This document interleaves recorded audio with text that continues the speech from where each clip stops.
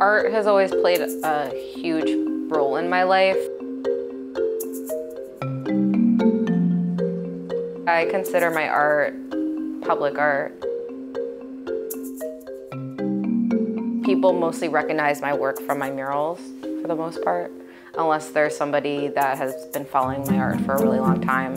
A lot of people discover me as an artist kind of through my murals first and then see my other work after that. My name is Bianca Romero. I'm an artist and muralist in New York City.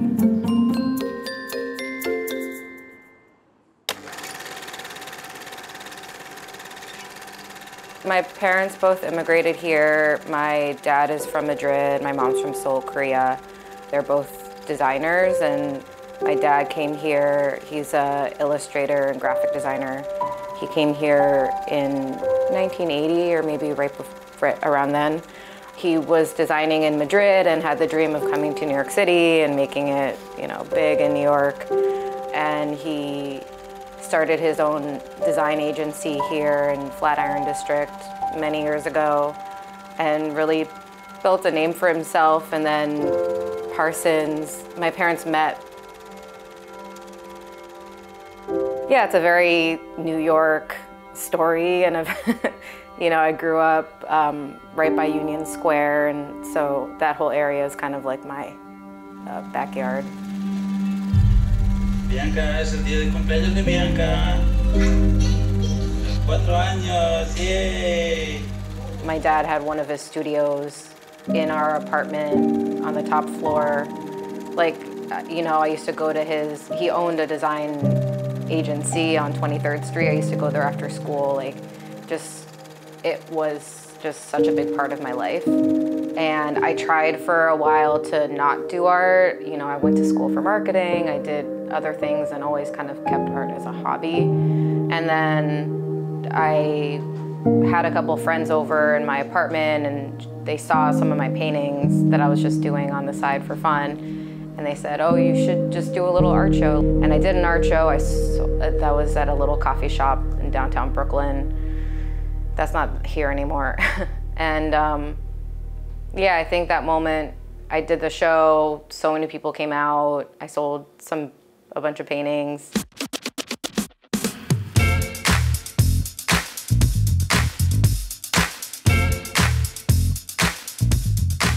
My art is contemporary mixed media art uh, for my paintings in particular. I use a mixture of collage, which is a lot of ripped uh, street posters that I take off the walls, and magazines and newspapers, um, but I also mix that with acrylic paint and spray paint, and then they're typically on wood, wood boards. And for me, I've always been drawn to collaging and mixed media. And then over the years, I kind of realized that it's a little bit a part of me being of a mixed background. It's kind of like bringing different narratives together and kind of like figuring out and creating something new, uh, which I kind of had to figure out on my own, like, you know, growing up. I'm kind of like an embodiment of this like mixed media art, I suppose. But I've always been drawn, I love the idea of like taking posters off the buildings. It's also kind of pays homage to like New York City and I've always been drawn to like, you know, all the wheat paste layers that you see on buildings in the city and stuff like that. Um, it's very gritty textures.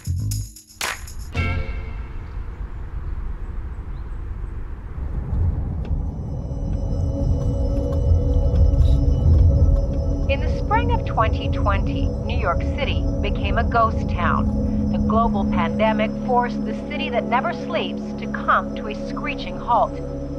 We have therefore made the assessment that COVID 19 can be characterized as a pandemic.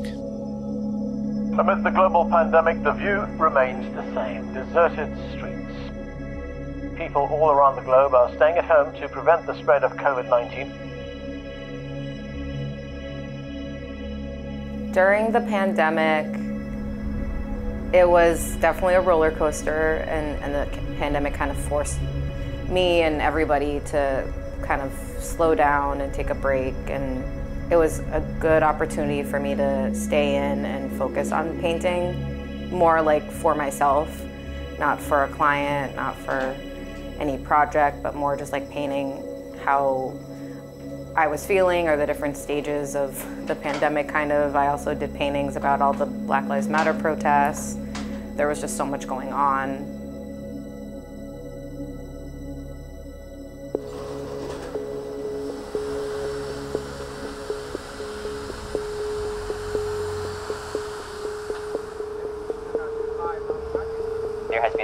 Rising hate attacks against Asians, uh, not just verbally, now it is getting very physical.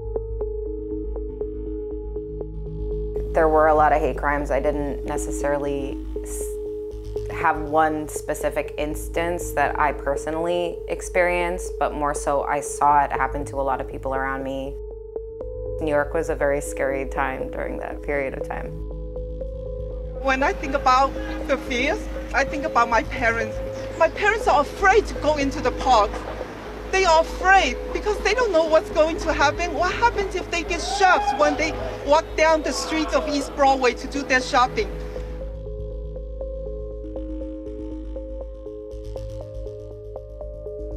I just felt like as a muralist, I needed to do something and you know use my art for something good. So I started reaching out to people and trying to find a wall to paint a mural to kind of create representation that I didn't see growing up. And it was way more difficult than I thought it would be. Um, I mean, typically you can find like a small wall somewhere in the city that will probably get tagged over in a couple weeks. And for me, I didn't want that. I wanted something that would actually hold a lot of space in the city and like literally and figuratively just take up space. And I just felt it represented that community just a lot of times feeling very invisible. And I just wanted to kind of break that cycle and just, yeah, paint something that was like larger that would almost like command attention. So it was actually very difficult because within the culture, in Asian culture, it's very standard to kind of keep your head down and don't draw attention and don't speak up and just kind of mind your business and not ruffle any feathers or anything like that. So uh, for me personally, it was challenging because I grew up that way, but also a lot of businesses in like Chinatown and a lot of places didn't want a mural because they were scared. They were actually scared that it would draw attention and bring more crimes to them. You know, they didn't want like any attention, whether it was good or bad. Like, it's just so against the culture that, and especially during a time when people were getting beaten on the street, like they rightly so didn't, were scared of that. So it was actually very difficult for me to find a wall. Um, and in my search, different people, I started posting a lot online, on Instagram mostly, looking for walls because I know so many people within, you know, curators and different things. In my search, I was connected to this organization called Thrive, and Thrive works with the city a lot. And then I also got connected with different councilmen in different districts in the city. Thankfully, different friends I know also work for the city, so I slowly started kind of like getting different people on board to help me find a wall. And then once I found the one that I painted on, which is on Delancey and Eldridge and Lower East Side, we got the mayor's office on board and then the city department of immigration. And then within the immigration department, they have a hate crime task force. So everybody kind of got on board and um, helped me bring this project to life.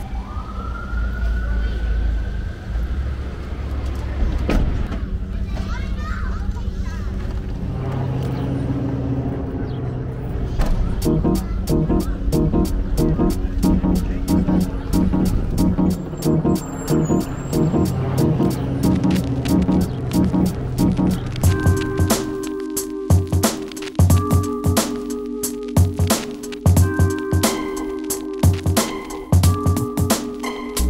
it probably took me two months at least to find a wall, and that's me working like all day, every day, you know, putting proposals together and reaching out to people and trying to get something. So at least two months, and then once everyone was on board, there was, you know, a phase of like everyone agreeing on what I was gonna paint, which was another whole thing. And then the painting itself, I had me and then two assistants, and that took about five or six weeks. So altogether, it was probably like four months from like scratch to finish. Give a special huge thank you to Bianca for creating what will be an encouraging, beautiful, inspirational mural. This is the kind of art that has great power the power to heal, the power to create togetherness, the power to create stronger communities. And this healing power is what we need right here and right now.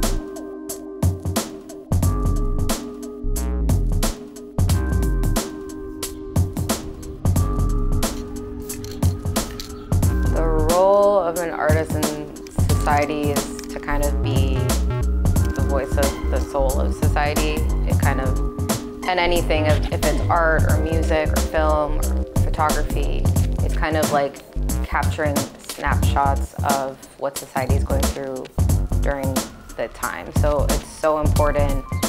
Artists play such an important role in society, and I think the pandemic really highlighted that. Like a lot of people couldn't work, were going through a very dark time, and everybody turned to music, to film, to you know, TV shows, which acting, and they're all forms of art.